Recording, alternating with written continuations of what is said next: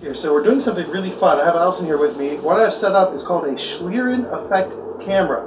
So you're actually looking at heat diffraction in the air. So the heat coming off the candle is actually doing micro pressure differentials in the air as the heat is expanding upwards, the cold air is rushing in.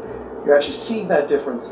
How this works is I'm using a parabolic reflector out the back of a large reflecting telescope. It's culminated at the point of a razor blade, splitting it in half. So as the light comes in, if it's not perfectly reflected as it would normally be, the light's changing it, it will shift off, and you're recording that difference, so you get a high contrast effect of the heat coming off. What's neat, I blow on the candle, you can see the effect. Uh, it works for other things too.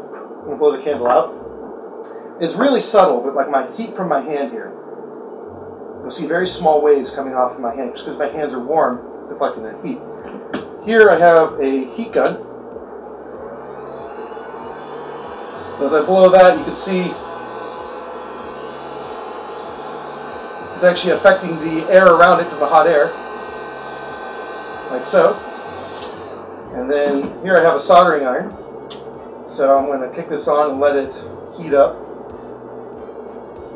It's a slow effect. So I'm going to wiggle that around. You can see the heat waves coming up off of it.